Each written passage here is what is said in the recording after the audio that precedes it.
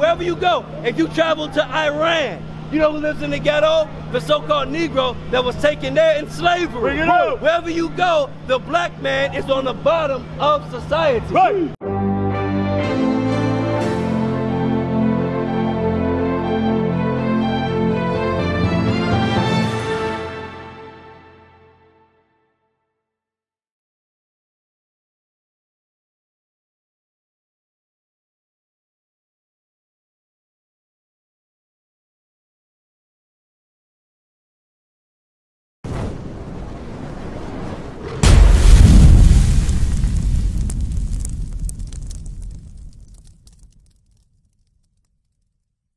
Deuteronomy chapter 7, verse 6.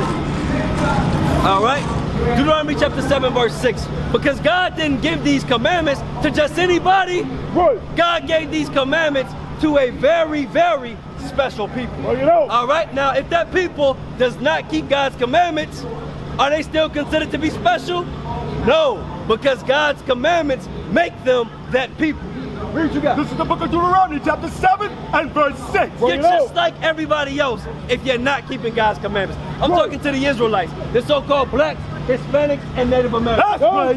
Come on. But thou art an holy people Thou art what? An holy people. Thou art a holy people. That means that you're a people that has been set apart by the Most High God. God says that the so-called black, Hispanic, Native Americans, all right, are not on the same level as all the nations that's on the earth. Right. All right? In this society, there's never been equality. Right. The black man is on the bottom. Right. Wherever you go, if you go to Chesapeake, guess what? The black man lives in the ghetto. Right. He's Teacher. on the bottom. Right. If you go to Norfolk, guess what a black man is? He lives in the ghetto. He's on the bottom. Right. If you travel to Chicago, guess what? You know who lives in the suburbs? Mostly it's not the black man.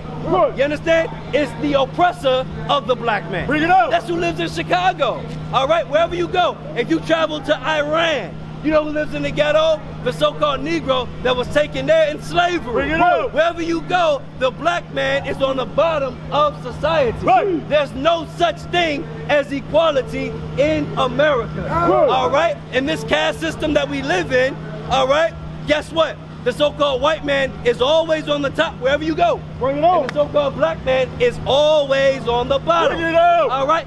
But it's okay because guess what? With God, there is no equality either. Bring it out. All right? God says something very peculiar about the position of his people on this earth. Read what you got. But thou art holy people unto the Lord thy God. The Lord thy God hath chosen thee My sister right here, the Lord God, thy God says he chose you and your people. Come on. to be a special people How special? Come on. unto himself Unto himself. Come on. above all people that are upon the face of the earth. above and not below. You understand that? That's not equality. All right, God didn't say that He made the so-called black man, He made the Israelite, all right, to be on the same level, to be equal, all right, to the so-called white man. God didn't say that. The Bible doesn't say that. The Bible doesn't say that God made the so-called black man to be equal to the so-called Chinese man. The Bible doesn't say that. All right, if the Bible said that, then I would teach it to you. My brother, let me ask you a question. You right here. Let me ask you a question. All right, because most of our people out here are fighting to be equal. But God never said that we were to be equal to anybody on this earth. Come on. People that are above. What's our position supposed to be? above all people that are upon the face of the earth. That's what God says. I didn't write That's this right. book. All right? This is the Holy Bible that we're reading. The. Holy Bible does not speak about all, God loves everybody and all nations are equal. All right? The Holy Bible doesn't say that. All right? It's not there. It's not written. Psalm chapter 147. All right? Verse 19. My sister, my sister right here. Come over here. We want to talk to you about the Bible. You got a minute? Come on over here. We reading about the Bible. Read what you got. This is the book of Psalms, chapter 147. I want you to hear what God said. We reading the Bible right here. I know you believe in the Bible. You look like a God-fearing woman, right? I know you believe in this holy Bible. All right, read what you got. This is the book of Psalms, chapter 147 and verse 19. Wait, you do you go to church? Do you go to church? Do you go to church? No. Do you go to church? I can guarantee. Have you ever been to church in your life? Have you ever been to church in your life? Yeah. Okay, I can guarantee you, when you went to church, your pastor never read you this scripture. Right. Read it again from the top. This is the book of Psalms, chapter 147 and verse 19. Read it. He, Come on. he showed his word unto Jacob, This is the Lord speaking. He said he showed his word unto Jacob. Come on. his stature. Wait, do you know who Jacob is? Do you know who Jacob is? Do you know who Jacob is? All right, Jacob was the son of Isaac. Abraham had 12 sons, right? Or Abraham had Isaac, Isaac had Jacob, right? Jacob was the son of Isaac. And Jacob's name was changed to Israel. You understand? Jacob's name was changed to Israel. Israel had 12 sons. We come from one of his sons. I come from the tribe of Judah because my father's a so-called American black, right? What's the nationality of your father? African American. So you come from the tribe of Judah as well. That's right. These are things that the education system right here in Hampton is not teaching us. I, I went to school in Virginia Beach and Norfolk and Chesapeake. None of those cities taught me. You understand? What's your father? What's he? Uh, so-called black man, white man, African American, uh, Puerto Rican. What's your father? What nation is he from? Say it again. Jamaicans. He come from the tribe of Benjamin. This is a Benjamite system right here. You understand? That's one of the sons of Jacob. Bring it up. You understand? You come from one of the 12 tribes of Israel. Right. Listen to what the Lord says about Jacob. Read it again from the top. He showed his word unto Jacob. Come close, my brother. We're reading scriptures that your pastor never read to you before. right. Read it again from the top. He showed his word unto Jacob. I thought God gave his Bible to everybody. I thought God gave his Bible to everybody, sister. Bring it out. Read it again from the top. He showed his word unto Jacob. I thought God gave his Bible to everybody. Isn't this Bible for everybody?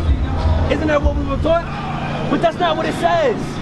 That's not what it says. Read it again from the top. He showed his word unto Jacob. God showed his word unto Jacob. Come on. His statutes and his judgments All his statutes, all his judgments that you read about in this Bible, come on. unto Israel. Unto Israel. Oh, That's bro. us. We come from the 12 tribes of Israel. I come from bro. Judah. You come from Benjamin. She comes from Judah. We all come from the tribes of Israel. Right. You understand what I'm saying? God gave this Bible to our people. Read on. He hath not dealt so with any Wait, nation. read that again. He hath not. Did you hear what the Bible just said? Did you hear what it said? It said he has not. Come on. dealt so He has not dealt so by giving this Bible to all other nations. Come right, on. with any nation. He ain't dealt so with any nation in this world. Right. Hebrews chapter 3 will show you scriptures that you've never read before. But I know you got a Bible at your house. I know you got a Bible at your house. You may not go to church, but do you got a Bible? Do you got a, you got several. You see that? Most of us, you know what? Most of us have what on our phone? Most of us have one. We got the Bible app on our phone.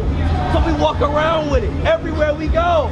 But we never read the scripture before. Bring it out. Go to read it. This is the book of Amos, chapter 3, verse 1. Listen Bring to what out. God said. Come on. Hear this word that the Lord hath spoken against you, O children of Israel, to this word that God spoke to the children of Israel. Come on. against the whole family. Against what A family? whole family. My sister, this is talking about the family of Israel. Right. Come on. Which I brought up from the land of Egypt, Lord delivered a nation from the land of Egypt. Come on. saying, You only have I known of all the families of the earth. You hear what the Bible just said? I've only known who? You, the Israelites. That's it. You understand? You're holy people. Come on, finish that out. Therefore I will punish you for all your iniquity. So now we're being punished for our iniquity. You know what iniquity is? It's sin. Very good. What is a nation?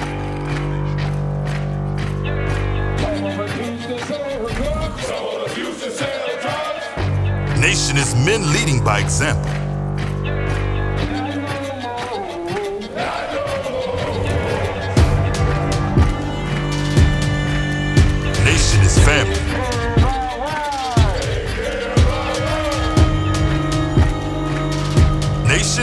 this community.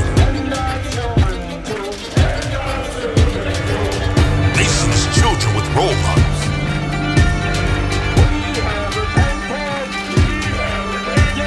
Nation is unity.